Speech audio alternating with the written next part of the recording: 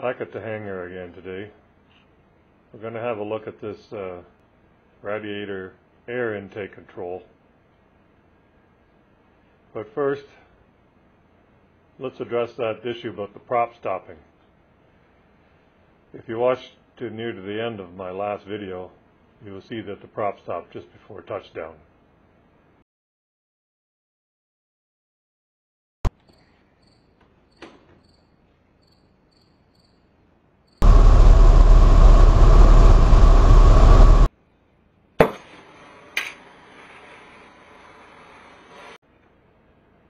If your engine's going to quit, that's the best place for it to quit, because you got no thrust and you can get stopped quick.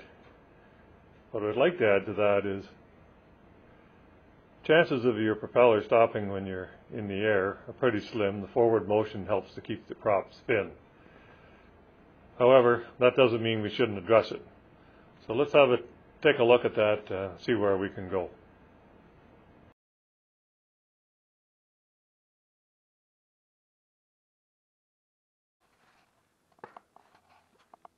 Hopefully you can see it. That shiny screw top there, that is the uh, that is the uh, idle adjustment screw. Now the day that uh, that day after the last flight, I did see if I could adjust this, but try as I might, I cannot turn that screw. It is locked. So so the setting, it's not a, it's not an issue of setting. So it's a couple of possibilities. One, it's a fuel injected engine, so it's possible that the um, mixture is a, the mixture is a manual lookup table, so it's possible that the uh, mixture setting was just a little bit lean. I have a manual override, so it could have been just a little bit lean for that uh, RPM setting. That's probably the most likely, but uh, as I said before, the the actual butterfly stop point shouldn't move. Anyway, I'm gonna have to get a heat gun out and uh, gonna have to heat this junction up here. There's a there's a jam nut in there. It's a stainless steel jam nut. It's fairly thick. I've got some thinner 1032 nuts I can put in there that allow this to go down just a little bit and raise the RPM up 100 RPM or something like that. I think it's set around 1750. I'll bring it up to 1850, maybe 900 or 1900, and that uh, that should make a difference. And of course, the other thing I wanted to talk about is this air control itself. Now it works. I can live with it. I'm strong enough to run it, but not quite right. I think I can do better. Um, thinking about it afterwards, one of the one of my main thoughts I've come up with is the problem with this is because it's normally down and it lifts up. Uh, the fail-safe operation of this isn't isn't uh, isn't the best.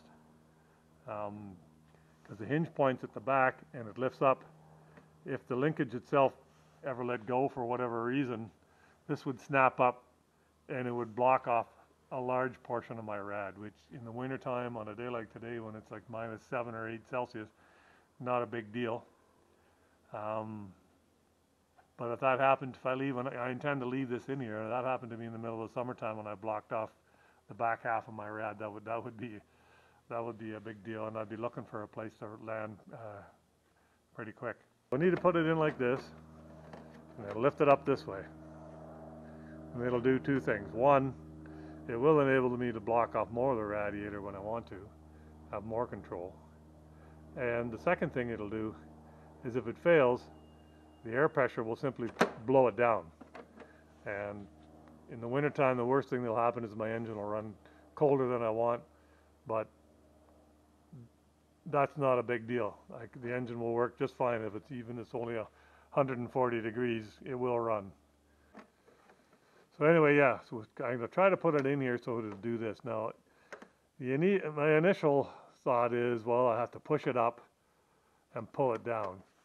Problem is, it's not gonna, it's not gonna I'm not going to have the two control levers in the same direction at the same time, which is what I want. There's a little bit of area here, and I can feel there's a bit of a gap. It's not it's not 100% tight between the inner shroud the inner plenum of, plex, of fiberglass and the outer shell of the of the cowling.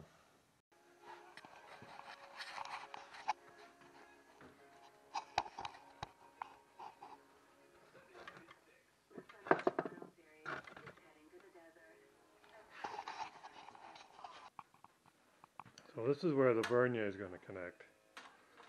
I got it set up so it should work the way it worked before. So if I push it, it's down, I pull, up it comes. So my old airplane adage of balls to the wall is going to still be good. So I'll have both both levers in the same place. So at full throttle, push this forward, maximum airflow. When you back off the throttle and you want to reduce the airflow, pull this back. So I'll have my two controls in relative position to each other, which I like. So another thing I thought I'd mention is that this little this little fork end on here. I needed another one, and I thought I had another one so I could use it down below on my uh, air control, but I didn't have one. I looked this thing up on Aircraft Spruce. Seems to me that it was about 60 bucks, and I couldn't believe it. So I uh, I took a half inch bolt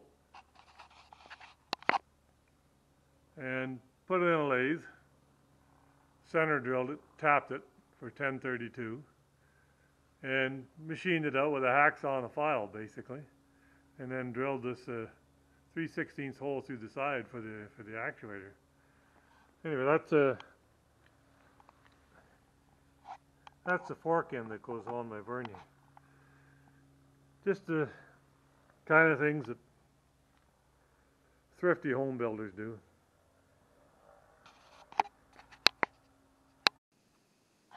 Okay, so we're looking at my new mechanism here for uh, controlling the amount of air that's going to flow into my radiator. So it's now in the throttle or the uh, control is fully to the for is fully forward, which has got this thing all the way down because the lever here is at the bottom. So when it's pushed forward, pivots down. Now I don't know if you can see it, but I purposely put a bend in here and one of the reasons for that is there's already a bend in this air intake. It's flat and smooth and then it bends up.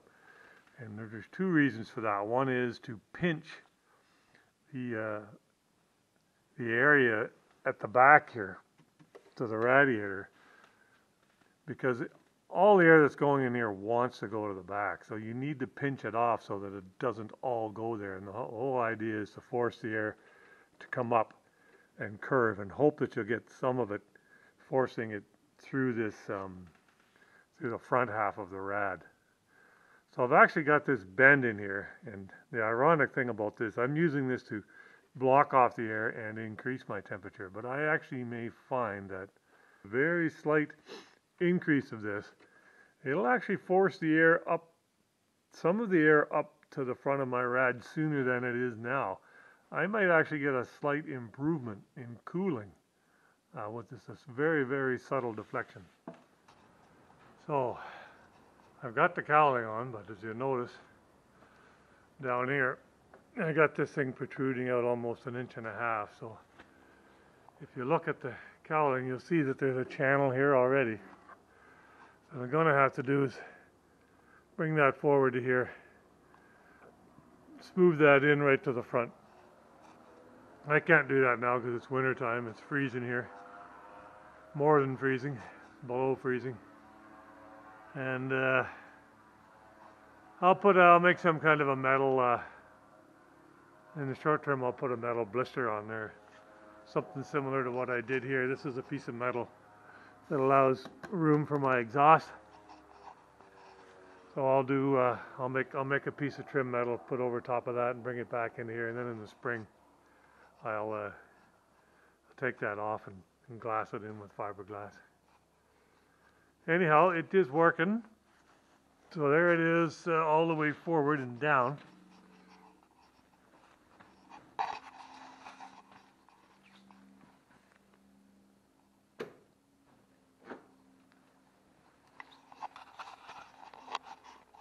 And that's with it all the way. This is with it all the way up. So it's definitely going to block a lot of air. It's certainly worth uh, worth giving it a test flight and see how it actually how it actually performs in in the real world.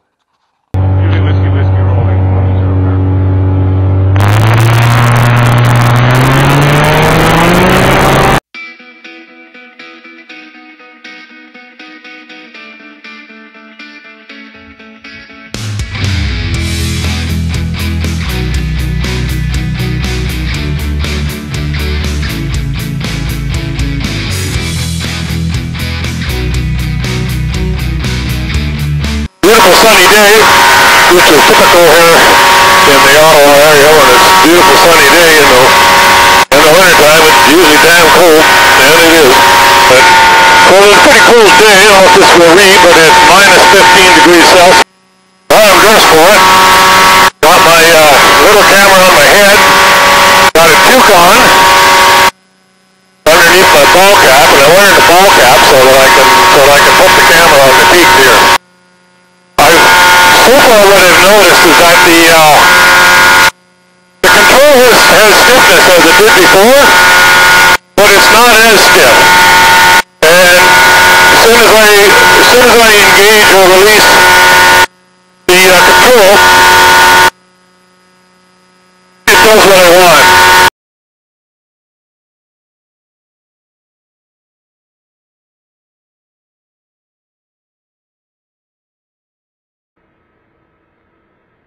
Yes, so Rev 2 of this uh, air control is working better than Rev 1, but it's clearly not good enough. As I bring the airplane in for the day, uh, I've got some thoughts of what I can do.